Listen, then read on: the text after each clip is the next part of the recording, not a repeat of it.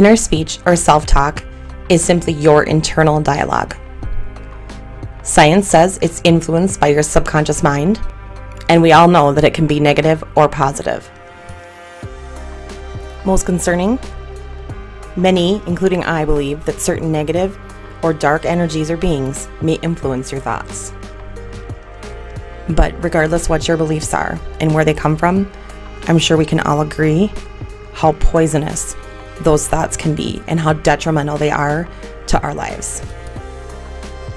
Next, I'm going to show a couple clips from one of Eckhart Tolle's videos. He is a German best-selling author who talks a lot about spirituality, and I really like his views on self-talk. I will link both the videos cited here in the description box as well as his website.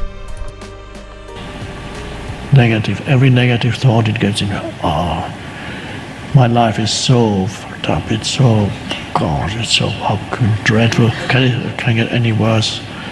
Or the, what these people they're so like, these dreadful. I just hate these people. Why is it always? Why is always this stuff always happens to me? Doesn't it? It's just bound to happen to me. Why? Why can I can? Why can I never get things right? Why can they never get things right?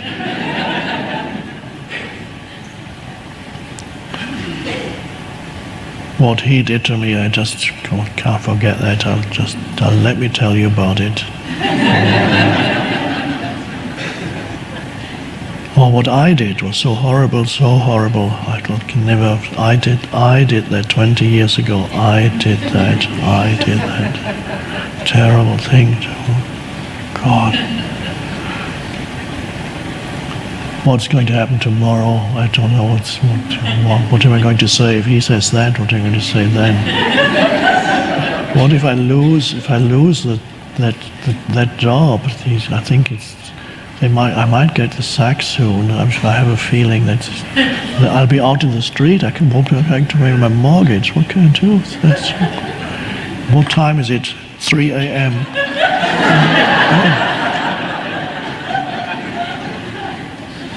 Oh, God. Oh, and then there's that other thing. God, God. God. I don't think I can take any more of this. Okay, uh, on one level, there is an addiction to that. There is something in you that does not want to let go of that type of thinking. So,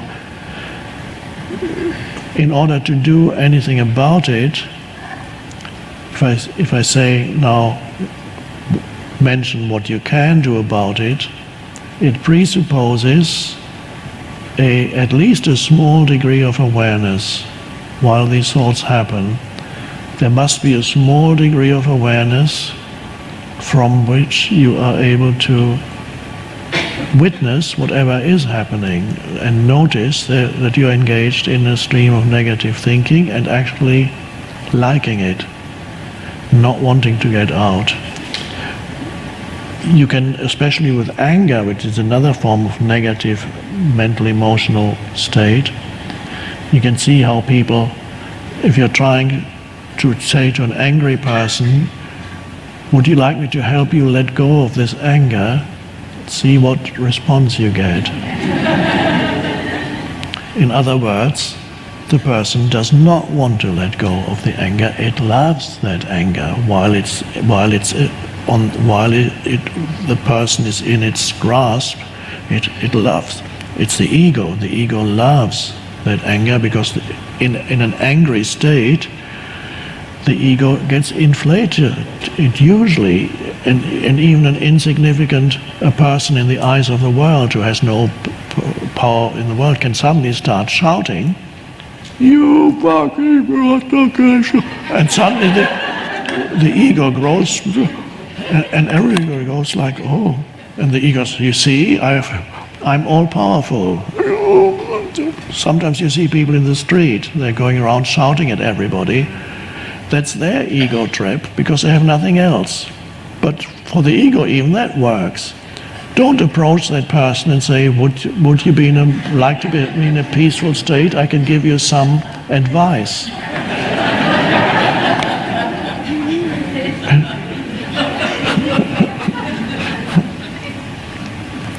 so if I say that you, what to do about it, it presupposes that you know what's happening to you at that moment, at, during that time.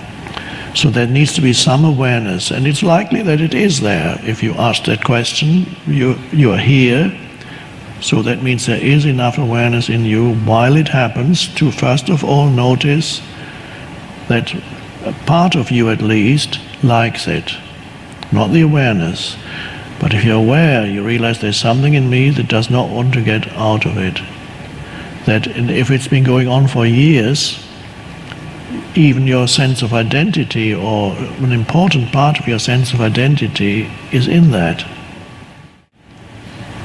Then you can also be aware that the mind activity that's happening in you is futile and fulfills no useful purpose whatsoever.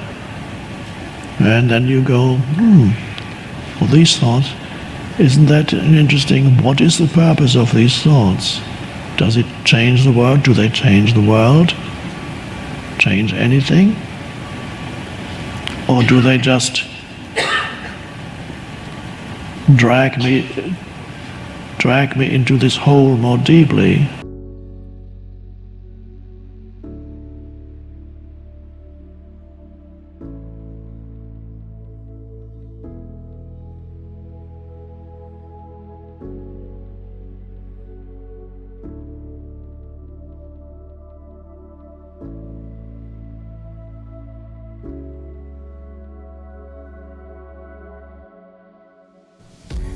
And because everybody resonates at a different frequency, we want to be careful and mindful of who we hang around with.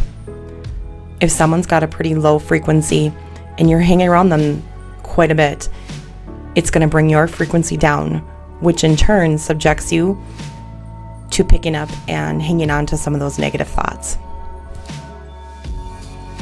If a friend or a spouse, a coworker, if you recognize that when you're around them, they make you doubt yourself, your self confidence goes down, your self worth goes down, those are all signals that you just probably shouldn't hang around that person. What happens is your frequency lowers, and that makes you vulnerable to some of those attachments. The more empowerment we have in ourselves, knowing ourselves, trusting ourselves, all those things raise our vibration, which puts up a barrier to those attachments. So, different words, the way they make you feel, including your thoughts, all have different frequencies as well. And what happens is our body can't determine the difference between a thought, a negative thought that maybe is on a replay, just because, you know, maybe we're in that cycle of self destruction, self sabotage, not recognizing those thoughts our body can't tell the difference between that and something that you think about that you really want.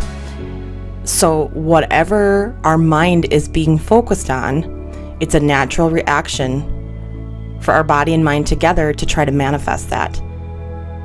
Therefore, if you're constantly thinking, I'm not worthy, I'm a piece of shit, I mean, I've been there, believe me. I have been there, and I was there for a long, long time and it's very hard to get out of it. But if you're constantly thinking that, your body doesn't know the difference, and that that is just a thought that shouldn't be there. And that's what it's going to manifest, and that's what your life is going to be. So that's how important your thoughts are, and how important it is for you to stop that train of thought. And what happens is that's when your when your vibration is at an all-time low like that, that's when those spiritual attachments can come. So, the best advice I can give you to distinguish between what is your subconscious and what may be some kind of an attachment is if you've done everything to remove yourself from either that person, that place, those kinds of thinking, if you've recognized it and if you've removed yourself and you still can't get rid of those thoughts, you may have some kind of an attachment. What I need you to do is make a promise to yourself that you love yourself enough to get help. Reach out to someone that you love and just tell them that you need some help. So, the next thing I want to say is nobody has the right to take over your mind and place thoughts into it. So, what we need to do is reclaim our sovereignty as humans. We are divine. So, we need to reclaim our sovereignty and we need to demand that whatever is attached to us that it leave now because it doesn't have the right to be there.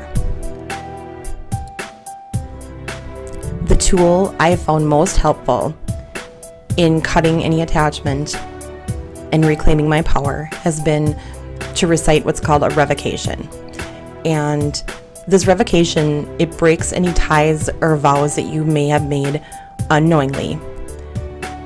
And it says you do not consent and you're taking back your rights.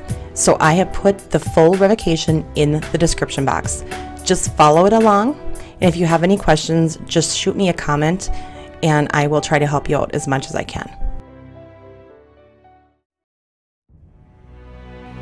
So I truly believe this is a spiritual battle and that we each chose to be here for a specific reason because we're warriors. So if you're here listening to this and if you're part of this this soul group, um, part of the channel, just know and don't doubt that you are also meant to be here for a very important reason.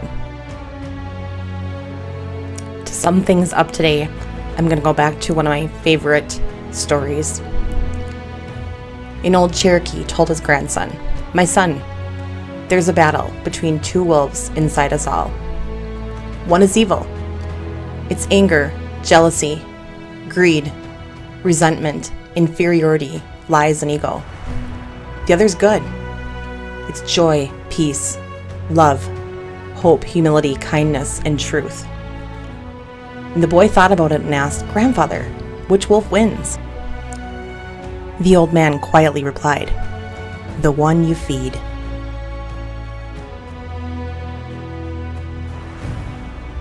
kindly like, share, and subscribe.